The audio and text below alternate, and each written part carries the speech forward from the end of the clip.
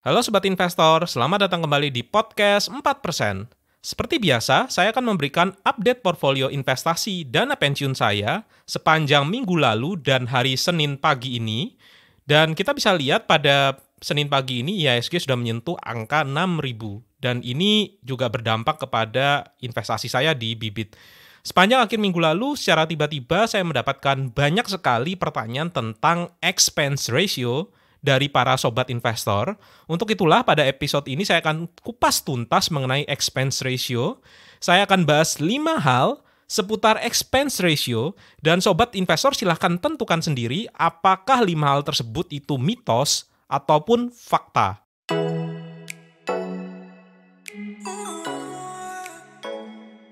Sobat investor, mari kita masuk ke topik pertama yaitu update portfolio secara singkat. Jadi di sini nilai portfolio saya pada eh, minggu ini di hari Senin itu adalah 646 juta, di mana keuntungannya adalah sekitar 125 juta atau setara dengan imbal hasil 24,27 persen.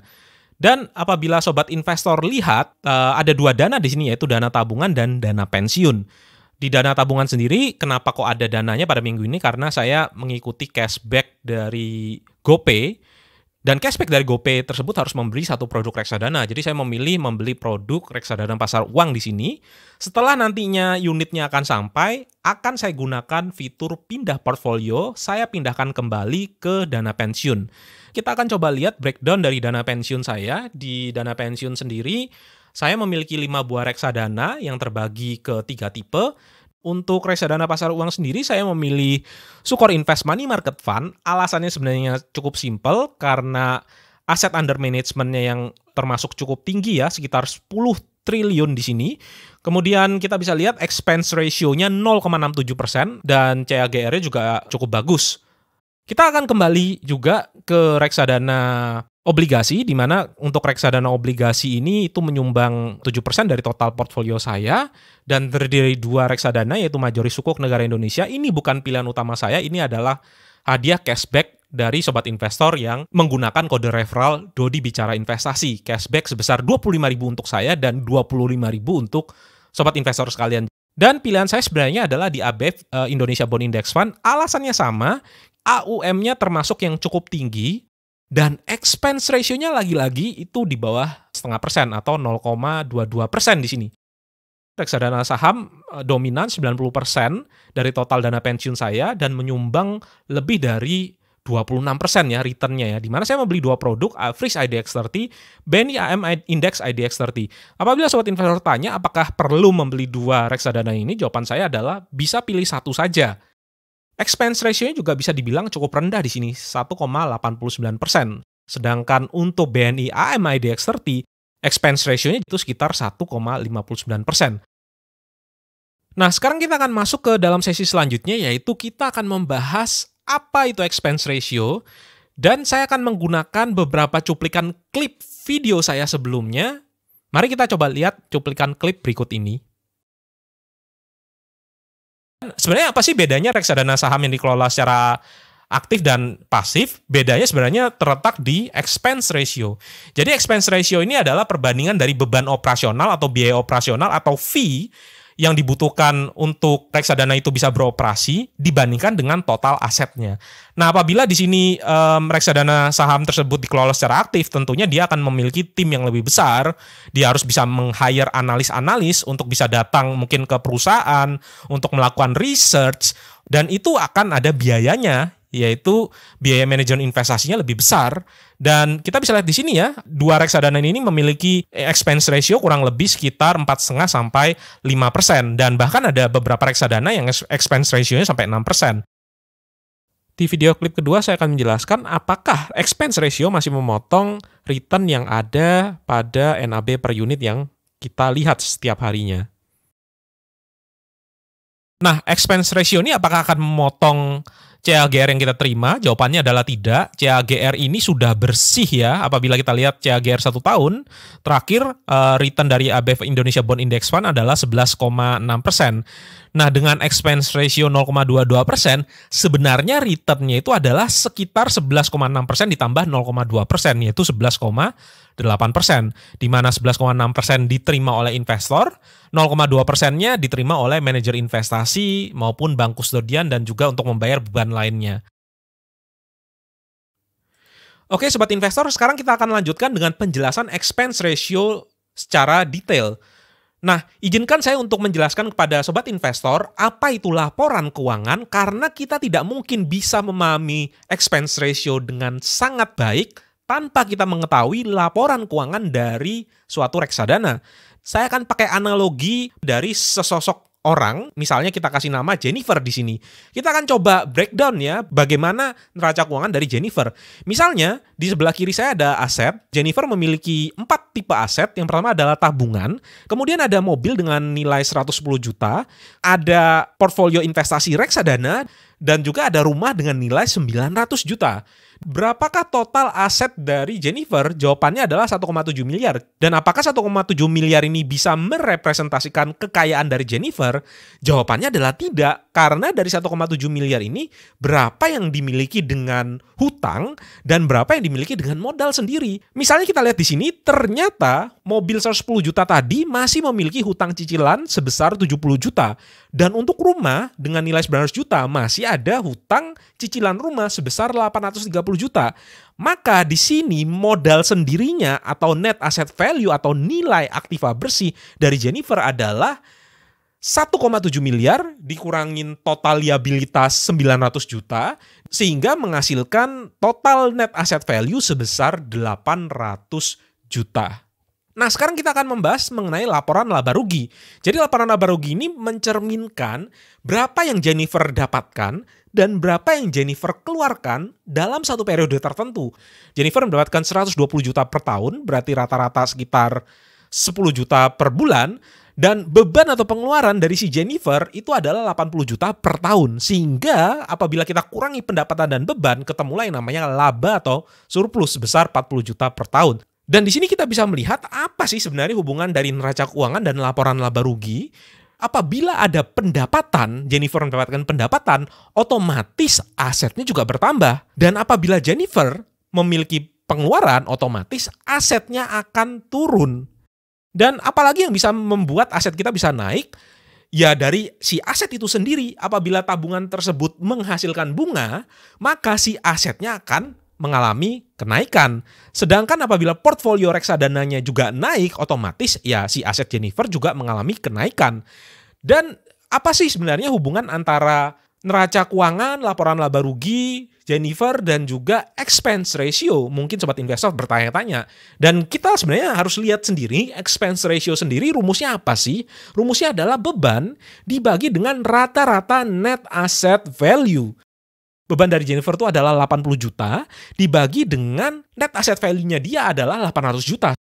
Expense ratio dari si Jennifer itu adalah 10%. Oke, sekarang kita masuk ke dalam pembaruan prospektus dari reksadana BNI AM IDX30 dan pada akhir dari dokumen ini kita nanti akan menemukan laporan keuangan. Nanti linknya akan saya kasihkan di deskripsi sehingga sobat investor bisa melihat sendiri. Dan di sini namanya agak sedikit berbeda. Neraca keuangan di sini namanya adalah laporan posisi keuangan, sedangkan laporan laba rugi itu tetap sama. Dan kita akan coba lihat satu persatu ya di sini ya. Kita mulai dari neraca keuangan dan seperti yang sudah kita lihat bersama-sama dengan menggunakan analogi Jennifer, maka ada yang namanya aset di sini di mana aset dari BNI AM Index IDX 30 ada di dua tipe instrumen yaitu di efek ekuitas atau di saham, isinya adalah 30 saham yang terdaftar tentunya di IDX 30 sebesar 778 miliar. Dan ada kas di bank sebesar 5,4 miliar sehingga total asetnya adalah 784 miliar. Nah, untuk liabilitas di sini hanya 3 miliar saja jauh lebih kecil daripada jumlah aset sehingga aset bersih yang dapat diatribusikan kepada pemegang unit NAV atau nilai aktiva bersih itu adalah 781 miliar. Nah, ada yang namanya unit penyertaan. Jadi apabila angka dari 781 dibagi nilai ini, ketemulah yang namanya nilai aset bersih per unit penyertaan NAB per unit. Nilai ini yang sobat investor selalu lihat di dalam aplikasi Bibit. Nah, sekarang kita akan coba bahas di bagian laporan laba rugi. Ada dua di sini, ada yang namanya pendapatan investasi, ada dua komponen di sini yaitu dividen dan pendapatan bunga. Karena si reksadana tersebut memiliki aset 30 saham, otomatis si reksadana karena dia yang punya, maka dia akan menerima dividen. Total dividen yang masuk di 2019 itu adalah 24 miliar. Jadi kalau kita bagikan ya 24 kita bagikan dengan 781 miliar, maka itu sekitar hampir 3% ya. Nah, kenapa kita investor tidak menerima dividen? Karena dividennya tidak langsung masuk ke dalam kasnya investor, tapi akan meningkatkan NAB per unit atau istilahnya adalah capital gain. Dan selain itu juga ada yang namanya pendapatan bunga dan ini adalah komponen kedua sama seperti analogi dari Jennifer yaitu adalah beban investasi di sini dan ada tiga tipe beban investasi yaitu fee management 9,19 miliar. Beban kustodian itu adalah 827 juta, beban lain-lain adalah 3,9 miliar. Dan jumlah dari beban investasi itu adalah 13,96 miliar. Dan bagaimana caranya kita menghitung expense ratio? Jawabannya adalah kita tinggal bagikan saja beban investasi dengan nilai aset bersih dari si reksadana tersebut. Dan di sini ketemulah expense ratio-nya itu adalah sekitar 1,8 persen kurang lebih mirip yang ada di aplikasi Bibit. Perhatikan di sini sebenarnya nilai aktiva bersih yang kita pakai itu adalah yang rata-rata bukan yang di akhir tahun. Tapi anggaplah aset bersih yang ada di sini adalah yang rata-rata sepanjang sepanjang tahun ya. Dan sekarang setelah kita tahu bagaimana caranya menghitung expense ratio dari suatu reksadana, apakah hal-hal yang beredar tentang expense ratio itu adalah mitos ataukah fakta? Sobat investor akan saya berikan 5 buah pernyataan, silakan pilih ini adalah mitos atau adalah fakta. Pertama, expense ratio sama dengan management fee yang tertera di fund fact sheet. Mitos atau fakta? Dan di sini saya akan coba tunjukkan kepada sobat investor ini adalah fund fact sheet dari salah satu reksadana Sukor Invest Money Market Fund. Kita bisa lihat ada juga di sini biaya manajemen dan biaya kustodian ya. Tertulis di sini biaya manajemen adalah maksimum 3,5% per annum. Padahal apabila kita lihat di bibit, expense ratio dari Sukor Invest Money Market Fund itu adalah 0,67%. Jadi mana yang benar? 0,67% atau 3,5%. Di sini yang sering sobat investor lupakan adalah ada kata-kata maksimum. Maksimum 3,5%. Artinya 0,67 persen itu masuk dalam kriteria maksimum 3,5 persen per tahun. Tentu saja yang benar adalah yang expense ratio 0,67 persen. Jadi jawaban sesungguhnya adalah mitos. Oke, pernyataan kedua adalah expense ratio di Indonesia jauh lebih besar daripada expense ratio di US. Mitos atau fakta? Nah, sobat investor, saya akan coba tunjukkan salah satu reksadana indeks terbesar yang ada di US, yaitu Vanguard 500 Index Fund. Kita bisa lihat expense ratio di sini tertulis adalah 0,04%, sangat amat kecil sekali. Dan apabila kita bandingkan dengan BNI AM Index IDX 30, itu expense ratio-nya masih cukup besar, 1,59%. Dan saya yakin beberapa dari sobat investor bisa menebak kenapa kok expense ratio di reksadana indeks di Indonesia itu cukup besar dan juga reksadana-reksadana lain itu cukup besar? Jawabannya adalah karena aset under management kita masih tergolong kecil sekali. Di sini kita bisa lihat total aset under management di BNI AM Index IDX 30 adalah 706 miliar. Mari kita lihat kembali di halaman index fund di US. Dan ternyata aset under management dari S&P 500 index fund itu adalah 620 billion USD. Dan apabila kita rupiahkan, itu setara dengan 8.600 triliun. 10.000 kali lipat ya. Bayangkan luar biasa sekali perbedaan dari aset under managementnya. Dan apabila kita belajar yang namanya economic of scale, tentunya kita akan sadar dan maklum bahwa semakin besar dari suatu dana, maka persentase rasio biaya operasional terhadap dana otomatis akan mengecil ya. Dan kita berharap di beberapa tahun ke depan investor reksadana akan semakin banyak sehingga dana kelolaan dari reksadana itu juga akan meningkat, perlahan-perlahan expense ratio di reksadana yang ada di Indonesia ini akan tambah lama tambah turun. Jadi jawabannya adalah fakta bahwa expense ratio di Indonesia jauh lebih besar daripada expense ratio di US. Oke, sekarang kita akan masuk ke dalam pernyataan ketiga. Expense ratio masih memotong return dari NAB per unit reksadana.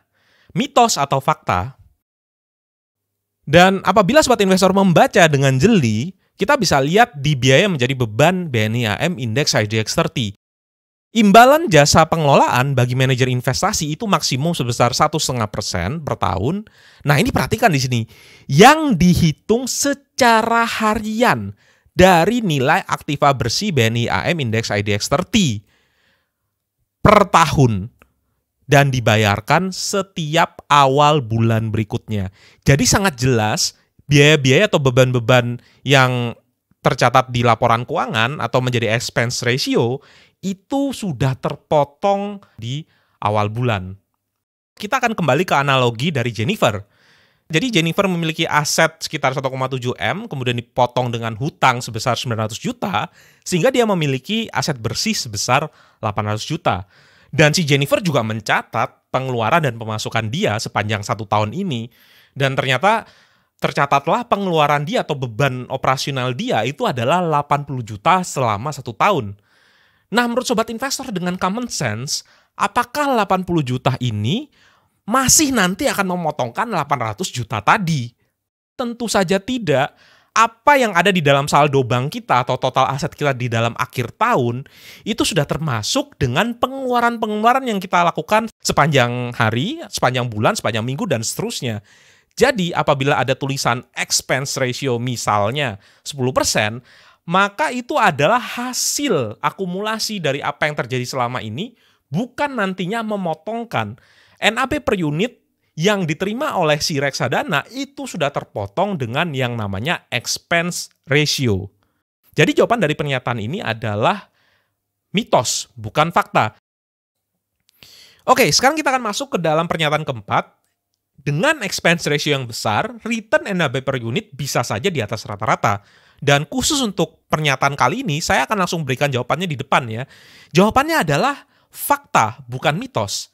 Dan memang benar, ada beberapa reksadana yang expense ratio-nya itu sangat besar ya, hampir 5% atau lebih dari 5%, tapi return dari NAB per unitnya itu di atas rata-rata.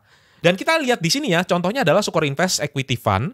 Di sini kita bisa lihat expense ratio-nya adalah 4,8 persen, dan CAGR untuk satu tahunnya itu adalah 10,11 persen. Kita coba bandingkan tadi dengan BNI AM Index IDX 30, di mana returnnya itu masih minus 5 persen sepanjang satu tahun terakhir, padahal expense ratio-nya jauh lebih kecil yaitu 1,5 persen. Dan apa penyebab ini semua? Kenapa kok Sukor Invest Equity Fund returnnya bisa 15% di atas rata-rata? Dan ini semua tergantung dari strategi pemilihan saham secara aktif yang sukses ternyata pada beberapa tahun terakhir ini ditemukan oleh Sukor Invest Equity Fund. Mari kita lihat top holdings dari Sukor Invest Equity Fund pada bulan terakhir ya. Dari top holdingsnya kita bisa melihat ada tiga saham yang bobot di IASG maupun bobot di indeks lainnya itu terbilang juga cukup kecil ya. Kita bisa lihat di sini ada aneka tambang atau Antam, ada BTN, kemudian ada perusahaan gas negara. Tiga saham ini istilahnya adalah salah satu contoh strategi yang sukses pemilihan saham-saham Berarti kalau gitu kita investasi saja dong di reksadana yang memiliki CAGR atau return yang tinggi. Tunggu dulu. Meskipun tadi saya bilang itu adalah fakta, mari sobat investor simak dulu apa yang ingin saya sampaikan setelah ini. Saya di sini menggambarkan apa hubungan antara expense ratio dan return NAB per unit. Kita bisa bagi menjadi empat kuadran di sini ya. Apabila sobat investor menemukan reksadana yang di kuadran ini, maka tinggalkan saja karena sudah expense ratio-nya besar, tapi return-nya kecil. Kita tinggalkan. Sobat investor, apabila menemukan reksadana yang expense ratio-nya kecil, tapi return NAB per unitnya kecil, nah silahkan dicari dulu apa penyebabnya. Oke, dan untuk kasus dari BNI AM Index IDX 30, kalau saya lihat komposisinya itu di 10 besar itu adalah saham-saham yang memang memiliki nama semua ya. Dan kita yakin dalam 10 tahun ke depan, 20 tahun ke depan kalau ini kita jadikan sebagai dana pensiun, maka ya kita sangat yakin ya bahwa uh, portfolio kita akan semakin meningkat ya. Dan dan ini alasan mengapa kok saya tetap memilih reksadana BNI AM Index IDX 30 meskipun returnnya pada saat ini lebih kecil dibandingkan dengan reksadana saham yang dikelola secara aktif. Oke, paling ideal sebenarnya adalah reksadana yang um, return NAB per unitnya itu besar, expense ratio-nya kecil. Terakhir, ada reksadana yang returnnya itu besar, tapi expense ratio-nya besar. Nah, di sini hati-hati, bisa jadi ini tidak sustainable. Apa maksudnya? Bisa jadi di lima tahun ke depan, siapa yang bisa menjamin strateginya itu akan tetap bisa mengalahkan market? Bayangkan sobat investor tadi melihat lebih tenang mana memiliki komposisi portfolio yang isinya adalah Antam, BTN, perusahaan gas negara, ataukah memilih reksadana yang portfolio sahamnya isinya adalah saham-saham seperti BCA, BRI, Telkom, Mandiri, Unilever, Astra, AM Sampurna, BNI, dan seterusnya sebagai top holding dari portofolio sobat investor. Oke, jadi ini sobat investor coba perhatikan baik-baik. Bisa saja return yang terjadi di lima tahun terakhir itu tidak terulang kembali di lima tahun yang akan datang atau 10 tahun yang akan datang. Karena mereka masih harus tetap membebankan expense ratio yang cukup besar, hampir 5%. Oke, sekarang kita akan masuk ke pernyataan kelima, yaitu expense ratio yang besar, artinya manajer investasi itu sedang merampok uangnya investor, membuat investor tidak kaya. Ini mitos atau fakta? Dan untuk menjawab pertanyaan spesial kali ini, saya akan menggunakan simulasi ya untuk kita membandingkan kira-kira apa yang didapatkan oleh investor dan apa yang didapatkan oleh manajer investasi. Dan coba kita bandingkan kalau kita berinvestasi di saham sendiri. Nah, misalnya di sini kita akan e, menabung rutin dengan nilai 10 juta per tahun. Dan kita tetapkan ya return bersih dari reksadana indeks atau index fund selama 38 tahun terakhir itu adalah sekitar 11 persenan, tapi kita anggap saja asumsi di sini um, 12% gitu misalnya. Dan expense ratio untuk reksadana indeks anggaplah sekitar 2%. Jadi return sesungguhnya itu adalah sekitar 14,29% ya. Satu ditambah dengan 12% kita bagi dengan 0,98 dikurangi satu karena expense ratio itu sebenarnya tidak hanya memotong imbal hasilnya kita tapi juga memotong total asetnya kita. Nah, eh, bagaimana hasil sesungguhnya apabila kita berinvestasi dengan return 14,29% tanpa ada embel-embel manajer investasi. Kita akan menggunakan kalkulator time value of money atau future value. Kita di sini masukkan rate-nya berapa?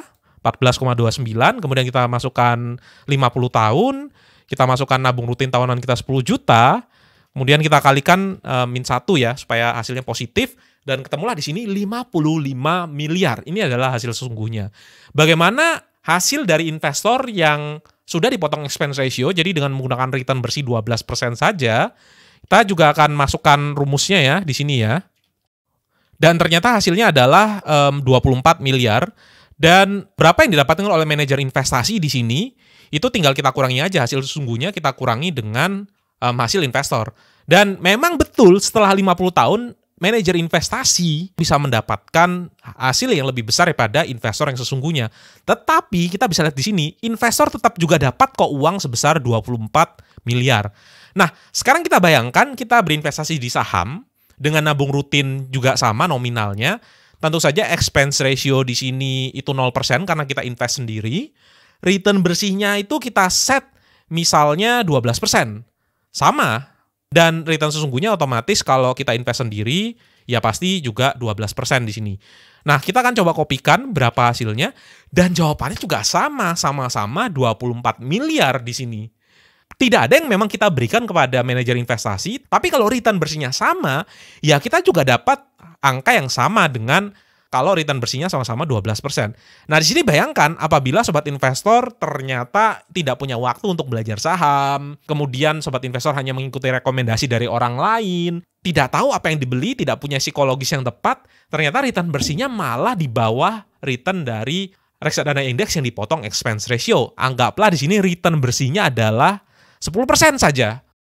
Dan hasil investor setelah 50 tahun itu adalah 11,6 M separuh dari orang yang berinvestasi di reksadana indeks yang returnnya itu sesuai dengan rata-rata meskipun sudah dipotong dari expense ratio.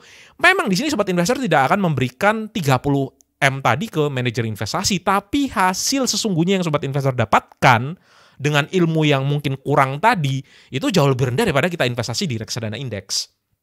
Itu yang pertama. Dan memang apabila sobat investor punya waktu, belajar dan seterusnya punya return yang di atas dari uh, reksadana indeks yang dipotong expense ratio, anggaplah di sini kita kita masukkan angka 14,29%, ya sobat investor akan mendapatkan murni 55,4 miliar. Kalau memang seandainya sobat investor yakin bisa membangun portfolio saham yang bisa untuk mengalahkan indeks, ya silakan saja punya portfolio saham sendiri. Apabila sobat investor ingin mencontoh dari IDX30, saya sudah sempat membuat simulasi, sobat investor harus menyediakan dana yang cukup besar ya untuk meniru persis 30 saham dengan bobot yang serupa, itu memerlukan sekitar 400 juta ya. Karena let's say kita lihat di sini contohnya adalah gudang garam ya. Gudang garam itu bobotnya mungkin sekitar 2% di di IDX30. Tapi dia memiliki harga 42.000 di mana ketika kita membeli satu lot itu adalah 4 juta. Bayangkan dengan uang 4 juta kita hanya bisa mengisi 2% dari total portfolio kita. Kita harus mengisi 98% yang lainnya. Dan apabila kita hanya memilih misalnya 10 saham teratas gitu misalnya Bank BCA, BRI, Telkom dan seterusnya. Kita lihat di sini Bank BCA sendiri harga satu lotnya sudah 3 juta. Dan sebenarnya reksadana indeks ini ideal bagi orang yang satu tidak punya waktu untuk memilih atau menganalisa sahamnya sendiri. Dan yang kedua, nabung rutinnya itu per bulannya tidak cukup banyak ya, sehingga sangat disayangkan apabila seandainya kita menabung rutin hanya bisa satu juta per bulan, kita memilih saham-saham yang yang harga satu lotnya di bawah satu juta, kita bisa melewatkan kesempatan untuk berinvestasi di saham-saham yang luar biasa ya. Nah ini yang menjadi alasan mengapa saya tetap berinvestasi di reksadana indeks karena saya ingin menunjukkan pada sobat investor tidak harus dipaksakan untuk kita itu selalu investasi di saham. Ada loh instrumen investasi lain yang memiliki berbagai macam kelebihan meskipun ada kekurangan. Kekurangannya adalah di expense ratio. Dan untuk menyimpulkan expense ratio besar manajer investasi merampok uang investor dan membuat investor tidak kaya, jawabannya adalah mitos. Nah, sekarang kita akan masuk ke sesi selanjutnya yaitu sesi tanya jawab. Oke, pertanyaan pertama dari Pak Dwiki Riyandi Putra. Om Dodi tolong penjelasannya tentang biaya manajemen serta dampak dari biaya manajemen itu sendiri. Yang saya baca itu dapat merugikan investor reksadana. Terima kasih. Oke, pertanyaan dari Pak Dwiki ini sebenarnya sudah terjawab di satu video yang panjang tadi yang saya jelaskan sebelumnya. Tapi saya akan coba merangkumkan ya dengan beberapa kalimat. Memang biaya manajemen itu bisa mempengaruhi kinerja return dari NAB per unit. Dan perlu dicatat di sini, NAB per unit itu sudah bersih terpotong di expense ratio. Misalnya untuk mendapatkan return NAB per unit plus 10%, maka reksadana A yang expense ratio-nya 1,5% perlu 11,5%. Reksadana B yang expense ratio-nya 5% perlu 15% per tahun. Dan hal itu menjelaskan mengapa 80% dari reksadana saham, return NAB per unitnya itu di bawah reksadana indeks, karena return yang sesungguhnya terpotong biaya operasional sebelum tercatat di NAB per unit. Pertanyaan selanjutnya dari Shishap Indonesia. Bagaimana cara mengetahui apakah reksadana non-indeks yang saat ini saya miliki adalah salah satu dari 20% over performers itu, Pak? Nah, tentu saja jawabannya dari saya adalah saya tidak tahu juga bagaimana caranya karena yang mengetahui strategi investasi dari reksadana saham itu adalah si manajer investasi itu sendiri. Apa yang terjadi di masa lalu belum tentu terulang di masa depan apabila kita memiliki reksadana yang returnnya tinggi, tapi expense ratio-nya juga tinggi, maka hati-hati. Bisa jadi returnnya itu tidak sustainable untuk 5-10 tahun ke depan. Apabila ternyata di 5-10 tahun ke depan setelah saat ini si manajer investasi itu tetap bisa beat the market, maka manajer investasinya kita harus apresiasi dan puji dan mungkin manajer investasinya itu adalah the next Warren Buffett di Indonesia. Oke, pertanyaan dari Pak Risaldi Satrio. Apakah setiap manajer investasi reksadana pasti melakukan compound interest? Tidakkah mereka mengambil dividen untuk diri sendiri?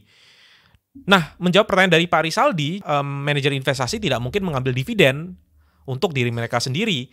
Ini tadi kita sudah bisa cek ya di laporan keuangan di reksadana ya, di mana dividen dilakukan untuk menambah nilai aktiva bersih sebagai pendapatan. Apabila mereka menambil dividen untuk mereka sendiri, berarti itu melanggar hukum.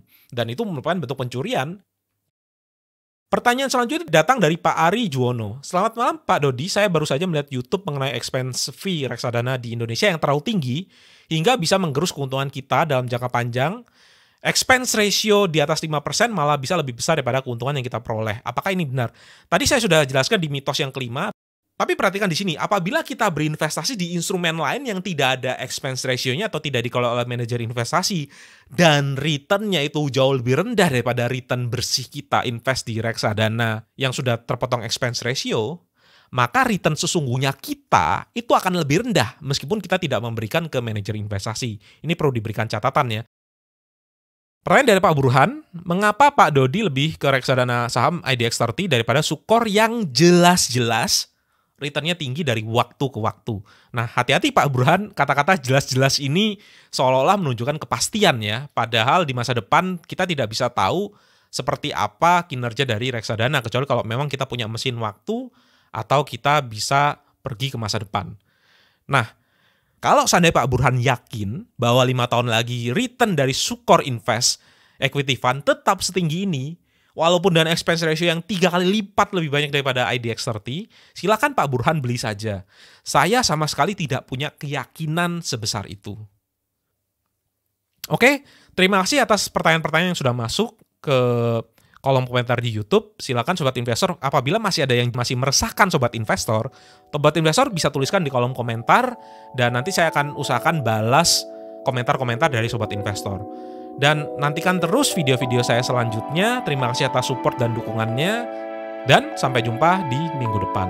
Terima kasih.